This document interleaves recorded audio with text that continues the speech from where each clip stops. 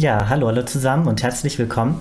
Ich bin Kay Seifert, ich bin Bachelor-Absolvent der University of Europe for Applied Sciences. Dort habe ich Game Design studiert und im Bachelor habe ich mich damit beschäftigt, wie man die Persönlichkeit von Figuren in Gameplay-Animationen kommunizieren kann. Und genau das ist auch unser heutiges Thema. Bevor ich mich aber den Animationen selbst widme, möchte ich erstmal die Frage in den Raum stellen, wer sind denn die Spielfiguren, die animiert werden? Wer sind die Protagonistinnen in Videospielen? Games stehen ja oft in Kritik bezüglich der mangelnden Diversität und Repräsentation der Hauptfiguren. Viele davon seien alle ein sehr ähnlicher Typ, nämlich männlich, weiß, einigermaßen jung, oft mit Militärhintergrund. Und wenn man sich die Zahlen mal so anschaut, hier zum Beispiel werden die Game of the Year Award Nominierten verglichen, dann ist es auch tatsächlich der Fall. Auch genreabhängig lassen sich hier Unterschiede feststellen. Während RPGs häufig gut abschneiden bezüglich multidimensionaler Charaktere, stehen Shooter meistens eher schlechter. Es gibt aber auch viele sehr erfolgreiche Spiele, die Diversität gelungen umsetzen. Hier auf dem ersten Platz zum Beispiel ist sogar ein Shooter mit vielen unterschiedlichen Charakteren, also bleiben wir direkt dabei und reden über die Animation von Overwatch. Für Games zu animieren bringt einige Besonderheiten, aber auch Einschränkungen mit sich. Vor allem die Kamera ist dabei wichtig. Aus welchen möglichen Perspektiven kann die Animation gesehen werden? Was sieht man überhaupt? Welche Körperteile sind sichtbar? Wie weit ist die Entfernung der Figur zur Kamera? In der Regel steht auch das Gameplay im Vordergrund. Das bedeutet, dass die Animation es nicht negativ beeinflussen darf. Deshalb haben Animatoren und Animatorinnen oft auch sehr strikte Vorgaben, wie lange zum Beispiel ein Sprung dauern darf oder dauern muss. Overwatch ist ein First-Person-Shooter. Das heißt, wir wissen, dass Spieler und Spielerinnen die Animation immer aus derselben Perspektive sehen werden. Meist sieht man dabei auch nur die Hände, vielleicht einen Teil der Arme und in der Regel, da es ein Shooter ist, auch eine Waffe. Und das Ganze von sehr, sehr nah. Hier ein weiteres Beispiel, das beachtet werden sollte. Der mittige Bereich ist hier markiert, der sogenannte Combat Corridor. In diesem Bereich passieren viele für das Spiel wichtige Dinge, deswegen sollte vermieden werden, diesen mit Animation zu verdecken, damit Spieler und Spielerinnen sehen können, wenn ein Gegner direkt vor ihnen steht oder auf sie zukommt. Gameplay-Animationen erfüllen außerdem eine wichtige funktionale Rolle. Sie sollten kommunizieren, was Spieler und Spielerinnen gerade tun.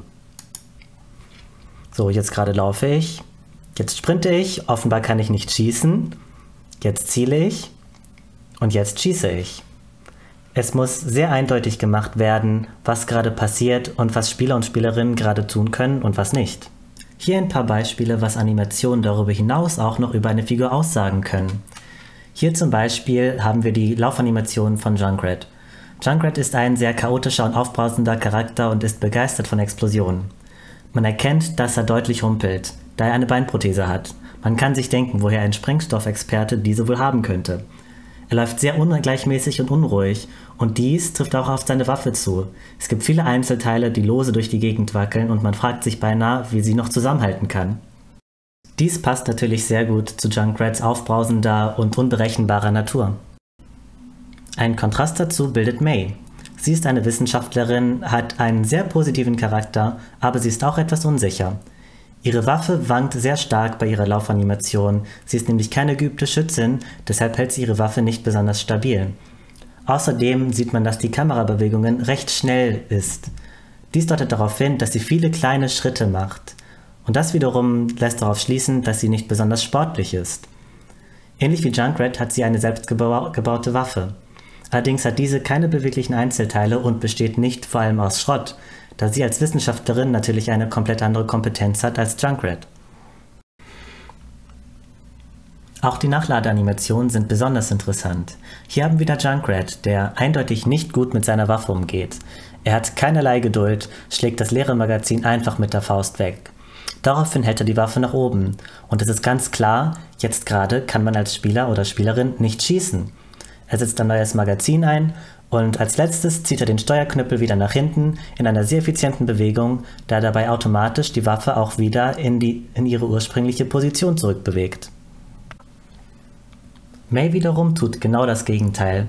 Bevor sie ihre Waffe überhaupt anfasst, zögert sie einen kurzen Moment, sehr kurz, um die Animation nicht unnötig in die Länge zu ziehen, aber definitiv spürbar. Sie fasst den Knauf an der Seite nur mit den Fingerspitzen an, als würde sie mit empfindlichem Equipment umgehen. Vorbildlich für eine Wissenschaftlerin natürlich. Sie dreht den Knauf und spreizt dabei den kleinen Finger sogar in einer delikaten Bewegung etwas ab. Ihr Zögern zeugt natürlich wieder von ihrer Unsicherheit. Gleichzeitig achtet sie eindeutig auch, auch darauf, nichts kaputt zu machen. Sie hat ein sehr ausgeprägtes Bewusstsein für potenzielle negative Konsequenzen ihres Handelns. Ganz im Gegensatz zu Junkrat, dessen Ungeduld keinerlei zu, vor sich zulässt. Kommen wir zurück zur Ausgangsfrage. Wie kommt man denn nun zu solchen Ergebnissen? Was kann dabei helfen, die Persönlichkeit von Charakteren in Gameplay-Animationen zu kommunizieren? Hierzu habe ich Guidelines aufgestellt, die ich nach verschiedenen Animationsanalysen ausgearbeitet habe. Die erste dieser Guidelines bezieht sich auf das Character Design selbst. Bevor man sich die Frage stellt, wie man gewisse Dinge kommuniziert, sollte man wissen, was überhaupt kommuniziert werden soll. Welche Eigenschaften hat die Figur, die auf alles angewendet werden können und die sich in allen Animationen widerspiegeln. Dies führt uns auch direkt zum zweiten Punkt, zum Rhythmus. Junkrat zum Beispiel ist sehr unruhig und unausgeglichen, was im Timing erkennbar ist, vor allem aber bei seiner Run-Animation, wo er die ganze Zeit am Humpeln ist.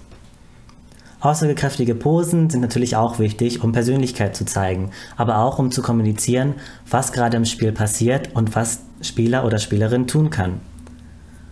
Auch Kameraanimationen sind nicht zu unterschätzen. Während sie eher unterbewusst wahrgenommen werden, beeinflussen sie aber trotzdem massiv, wie es sich anfühlt, die Figur zu spielen. Außerdem ist es dabei wichtig, Spieler und Spielerinnen nicht zu desorientieren und Motion Sickness zu vermeiden. Der letzte Punkt bezieht sich erneut auf das Design. Da man vor allem die Waffe sehr häufig sieht in First-Person-Shootern, ist diese nicht zu vernachlässigen, genauso wenig wie die Animation. Fassen wir zusammen. Die Repräsentation verschiedener Menschengruppen in den Medien ist natürlich enorm wichtig und diversere Videospielcharaktere helfen nicht nur bei diesem Thema, sondern sie bieten auch ein diverseres Spielerlebnis, was in meinen Augen nur etwas Gutes sein kann.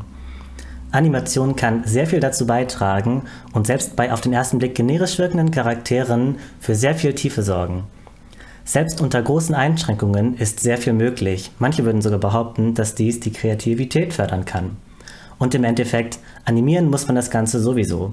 Deswegen lohnt es sich auch enorm, etwas länger darüber nachzudenken, wie man die Persönlichkeit der Figur einfließen lassen kann in die Animation.